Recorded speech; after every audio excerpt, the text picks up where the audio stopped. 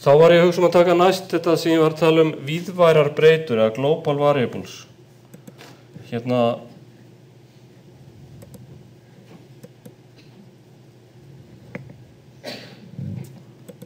Ég setti það sem þetta hérna inn global variables og svo segi ég hérna bannað. Þetta er svona tæknilega hægt en þetta er eitthvað sem við viljum ekki gera. Því það fylgjaði, þetta er, hvað að segja, sóðaleg forritun og, og ég útstýra það kannski aðeins eftir á af hverju þetta er sóðaleg og ekki góð forritun. Þannig að við höfum ekkert, við höfum reynd að tala sem minnst um þetta en þið þurfum að þekkja þetta, vita hvernig þetta virkar en vita jáfnframt ókostina. Þannig að ég ætla að opna þetta forrit sem er að nota víðværa breytur eða sem heitir global breytur. Hérna, þið sjáu hér, hér er ég með eitthvað fall sem að virkar ósku svipa á hittfalli sem við vorum með á þann. Þetta er reyndar ummál og flatamál hrings, en hér eru engar færibreytur. Og þá er spurningi, hvernig getum við látið þetta fall virka þannig að hafa neinar færibreytur? En við erum hins vegar búin að skilgreina hérna, við hefum ekki gert þetta áður. Hérna erum við búin að skilgreina já, þrjár breytur og eitt konstant sem er skilgrend áður við förum inn í mainforritið. Og muniði þegar við tölum um gildið svið breytna, eða nafngildið svið eða, eða hérna, scope of variables, þá sögðum við breytan er til innan þess forritsluta sem hún er skilgrend eða innan þeirra slaufusviða sem hún er skilgrend. Hér er breytunar ekki skilgrendar innan neins forritsluta, forritslutin sem eru skilgrend í er öll skráinn. Þannig að þessar breytur eru til allstaðar. Það eru til í mainfortinu, það eru til í fallinu. Það væri 100 föllarnar skilgreynd, þá eru þessar breytur til í öllum 100 föllunum. Sem þýðir það að, að því að við skilgreynum það sem eru til allstaðar, þá þurfum við ekkert að, að hafa neina færi breytur hérna. Hérna get ég sett C-in radius og lesið inn radiusinn og ég er ekki búin að skilgreyna í mainfallinu en hann er til hérna því ég skilgreynd hann fyrir utan. Og svo þá er hann til hér, þá er hann líka til inn í fallinu. Og svo kalli ég á ummál og flatamál hrings og þá reikna ég breytuna flatamál nú flatamál er til inn í inn í fallinu, það er líka til inn í sama breytan, inn í forritinu. Þannig ef ég breyti flatamál inn í fallinu þá er það líka til inn í forritinu. Og þá getur sagt, samskiptin átt sér svona eða sagt, þá allt sem ég ger inn í fallinu er þá líka til inn í forritinu. Og þá kemur spurningin er þetta ekki bara mjög sniðut þetta er ósköp þægilegt. Það þurfa ekki að pæla í þessum færibreytum. Skilgjum þetta bara allt sem við varum breytur og, og hérna og þetta virkar allt. Og hérna sem er alveg rétt, það virkar allt. Og stundum finnst manni þegar mann er að byrja að þetta er frestand að gera þetta bara svona þá þarf maður ekkert að vera að hugsa um þetta færibreytu við þessu en hérna ókosturinn við þetta er sá að þegar maður er komið með starri forrit kannski 20 föll og við erum með svona fullt af einhverjum global færibreytum sem við erum kannski bara að nota í mainforritinu og einu falli, ekkert í hínum nýju föllunum að þá, þá, þá hérna það tapast í rauninni þessi sagt, að við erum að tala um að búa til litlar afmarkaðar einingar sem það, hérna, framkom eitthvað afmarkað hlutverk. Það í rauninni þetta sjálfstæði hvers fals eða þessi afmörkun eininga það tapast. Og, og, hérna, og ef við gerum einhverja set, villu hérna inn í einu fallinu þá mengar það út um allt eða ekki í öll þessi tíu eða hundra föll eða hvaða nú er. Ein villa í einu falli geti orsakað villu í öllum hínum hundra föllunum með mainfórtinu eða með hundra föll.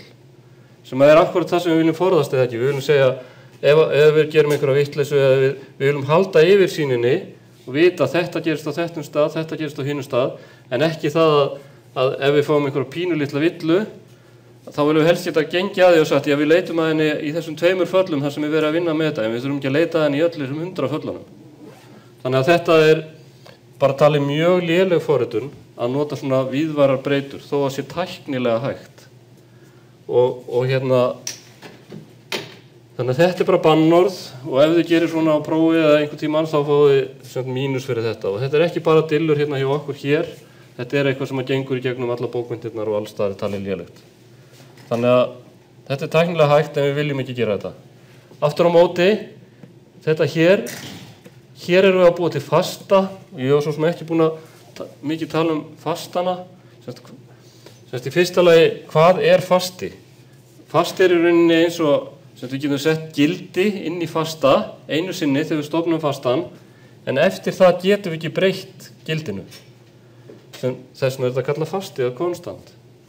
Við skildgreinum þetta alveg eins og breytu nema, sem, hérna værum við að búa til dobbul breytuna sem heitir pi og setja 3,1415 inn í þá breytu og, og við, en, þannig að við búum til eins og breytu nema bætum bara þessu líkilorðu konst fyrir framann. Þá erum við búin að búa til já, breytuna innan gæsalappa pi sem að fær gildi 3,1415 en við getum bara ekki breytið neitt eftir þetta. Og að búa til global fasta, það er allt í lagi og taliði sjálf sér bara ágætt. Af því að það býður ekki upp á þessa sömu hættu eins og hitt. Hættan var svo að ef við erum að gera breyta breytun einhver starf í einu falli þá breytist það í öðru. En við getum það aldrei með fasta, við getum hvað sem er ekki breytunum. Þannig að það er allt í lagi. Og í sjálfu sér getur þetta oft verið sniðugt að gera það svona global, þá erum við bara búin að setja fastan í eitt skipti fyrir öll, allstaðar og við þurfum ekki að vera stilgræna hann á mörgum stöðum. Já. Er pí ekki skilgreint líka í sémað? Jú, pi er líka stilgrænt í sémað. Þannig að ef ég hefði inklútt sémað, það heitir reyndar MP ef ég maður rétt. En hérna, en, en sagt, og það er bara gert þá nákvæmlega eins og við erum að gera núna, nema það heitir bara MP í staðin fyrir pi. Yfirleitt hefur maður, það er svona nafngitt að venja, ef maður er með fasta þá hefur maður með stóru stöðum. En ok, sem sagt, Fattu þið hvernig hérna, víðvarar breytur er að vinna? Einhver spurningar um það? Hérna, þá er ég vanur að sína dæmi þetta hérna hérna erum við með eitthvað forrið og hérna og spurningin er hvað skrifast út í þessari setningu hér? Og við erum sett með hvað, við erum með fall hérna sem að notar já, það eru ómerki og það er ekki ómerki. Þannig að við erum bæði með gildisfæribreytu og tilvísunafæribreytu við erum með einhvern víðværan fasta nei, víðværa breytu ætla ég að segja eða global variable. Og við erum með skilagildi í fallinu og þetta er í rauninni þessar leiðir sem við höfum til þess að senda upplýsingar inn í eða, eða sagt, skiptast á upplýsingu við föllu, við getum orðað þannig. Getum notað tilvísunarbreytu, gildisfæribreytu, skílagildi og global variable. Og hvað segir ég nú? Ef, að, ef að þetta væri forritið, hvað skrifast ég nú til að skrifa át T1? Hvaða tala er í T1 þegar við erum búin að keira þetta fall? Hvað segir þið? Tveir? Þrýr? Já, ég er sáttur við það. Sem sagt, þegar við, við setjum tvo hérna inn í T1, svo köllum við á fallið, sendum inn í T1, þar hækkaðum einn hérna og breytingin skila sér tilbaka af því að þetta er tilvísun að færibreyta. Ef þetta hefur verið gildisfæribreyta þá hann ekki skila sér. Þannig að það skilast á þrýr þarna. Og hvað skrifast út hér fyrir T2? Sjö, sjö segir einhver, allir samála því. Átta segir einhver. Hérna, sem sagt, nú er þetta gildisfæribreyta, það er engin og ekkert ómerki, sem þýðir þá það að það verður til önnur breyta inn í fallinu, sem þessi T2 hér, eða sem við erum með T2 hérna í mainforritinu, svo köllum við á fallið, tökum það sem er í T2 hér, afritum yfir það sem er T2 í, aðal, í, main, í fallinu og það er önnur breyta. Nú síðan hækkum við T2 um einn, en það er bara breytan inn í fallinu sem við hækkum, eða ekki? Þannig að breytingin skila sér ekki tilbaka, þar að leiðandi við þurfum í rauninni ekkert að spá í hvað skeiður inn í fallinu, um leið og sjáum þetta gildisfæri breytað, það er sjö þegar við köllum á fallið og þá verður það líka sjö þegar við komum út. Þegar skiptir einhver máli hvað við erum að gera inn í fallinu, það verður áfram sjö. Þannig að rétt að svarja sjö. En sem þetta ekki átta, að því að við, þó við höfum hækkað um einn hér, þá er það bara önnur breyta sem við vorum að hækka. Nú, T3, hvað er það? 32.